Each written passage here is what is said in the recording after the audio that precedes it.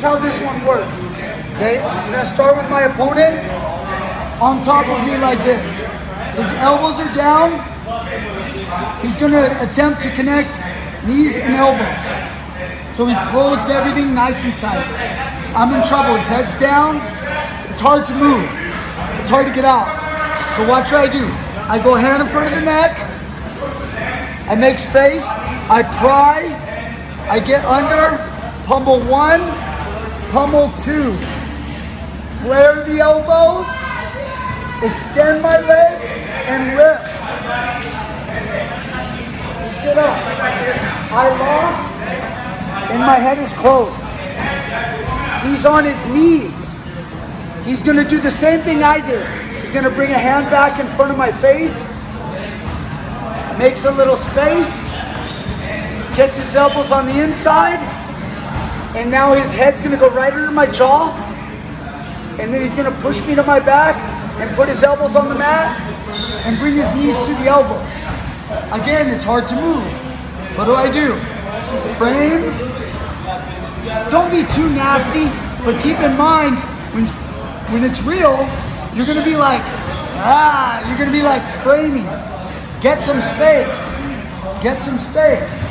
Even though he's trying to clap me, I open elbows, extend, and sit up. Lock my hand, and now it's his turn. You gotta go frame, and get your elbows in, pins me back down. My turn. Frame, elbows in, open, sit up. His turn.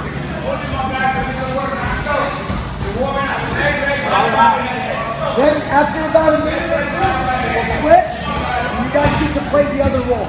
This isn't a very basic thing, but you have to know this, okay? You have to know it to be able to do it for more advanced things for the butterfly guard. Let's go. One, two, three. Three times where you're gonna get pinned for a second on the bottom, and you're gonna have to make space. If you can't make space, what do we attack? We attack the neck to make a hole. Okay? But this time, when I do it, I'm only gonna get one. I'm not gonna go for two. I'm just gonna go for one. When I go for one, the underhook grabs, no, no, just stay there. My underhook grabs my other hand, my wrist. Look at the lock, okay? I squeeze and I pull him to me real tight.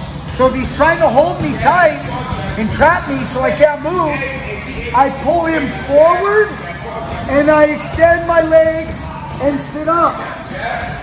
The moment this happens, I elevate the underhook and my elbow comes inside in front of his collarbone. Okay? I use the radial bone right here to go against his neck and I open my elbow as much as I can. Squeeze him as much as I can. Don't leave a hole where his head can escape. Okay? Later on, that'll be okay. But for now, you don't let his head out. You squeeze, and he should feel very controlled. If he tries to close his elbow now, he shouldn't be able to. If he tries to lift his head, he shouldn't be able to. Okay? You guys are now going to squeeze it, and I'm going to spread my hooks as I try to elongate his spine. I want to stretch him out. So watch what I do. I go here. As I do that, I fall to my side. I still have two hooks. If he tries to maneuver his legs, I have his legs. See it? If he tries to post his right hand, I will force so much weight on his right that he'll take it out. Watch. See that? As you do it, I squeeze and I force weight and go over to the mount. Once you do that, this position can change to this position. See how I have his head trapped? You guys want to go secure? You can go ankles crossed or double grapevine, okay? Get working those legs or legs crossed. I say that because sometimes you mount him and then he starts to bridge you to the side and then you you have you have to do this. And then that causes problems. Space is created.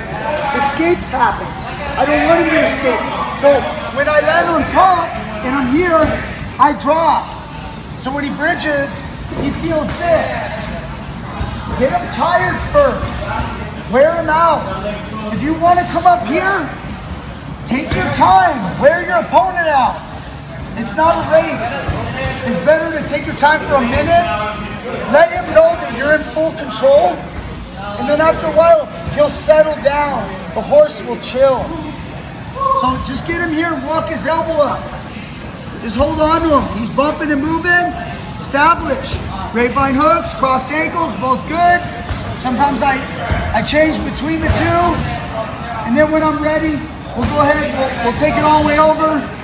There's an Americana. Or we got the arm triangle, right? We got, we can go into here and get to our side choke, arm triangle choke. Okay? So I was down. Well, how do I make space? How do I make space? Yeah, I go in front of the neck, I get underhook. Now I'm just gonna lock. The underhook grabs the other wrist. Squeeze, pull him. So if he's trying to make this heavy and clamp you, you pull, and then I can extend. Lift and drop my elbow. This is a very important part. Take your fingers, point your fingers out. So when he tries to maneuver, it's tough. Next, I squeeze as I drop down. I'm ready to sweep. If I want to stay in contact, I can, just for fun. Like ask your partner to move. He can go to his back, but he can't jump over my legs. I'm just here. See that? I have full control. Even if he posts, you take away the post with pressure. He'll take it out. You'll go to the mount. You'll establish. I'll take my time. and when the time is right, you'll go into attack. That might take a minute in the real world. It might take two minutes. The longer, the better. The more time you, you drown him underneath the mount, he don't want to fight you anymore. A lot of, there, there's guys that'll just tap out. I'm talking about in the real world. They can't fight anymore. They'll tap out from pressure. You know how to pressure a guy? Eventually, you'll know too. Because they'll fight you like crazy in the beginning, and then they'll start to calm down. And then they'll just mercy tap. Okay? If you know how to do it right. If you rush, what happens? You rush it, you try to, I'm going to do what so-and-so did in the UFC. Then what happens? The guy explodes, gets out. You don't have a submission. His fight goes up. He goes, the guy got me, but I got him back. No. We get him, he gets nothing. Okay? Let's go. One, two, three. The other way. Okay? So when I get the position, I get one underhook and I lock my hands. I I get to here. Some of you guys were able to do it like this. Hip out, hip out, elbow in. If you do this, this is good too. Just don't let his arm move over your face. Because what happens now is he'll get his elbow back in. You see that? If you do get it over to the other side, you better check it and try to go to his back.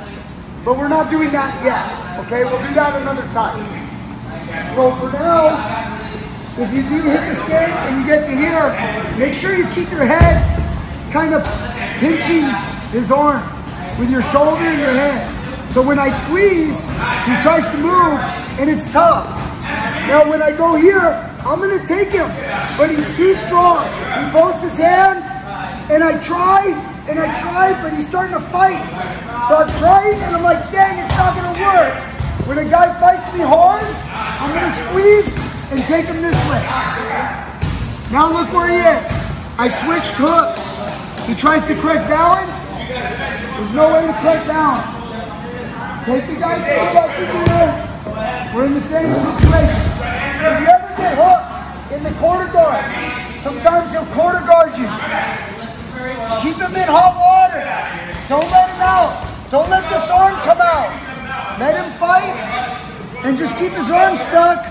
Use your other foot, pry it out, and go back to the mount.